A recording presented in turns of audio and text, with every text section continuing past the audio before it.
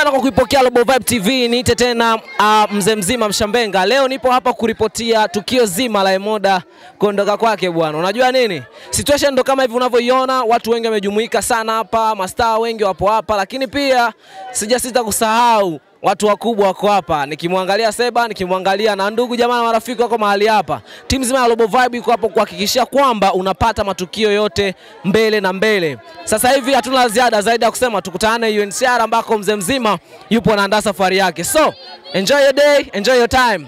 Mungu ibariki Afrika, Mungu ibariki Robo Vibe TV. Tukutanane hapa hapa tena.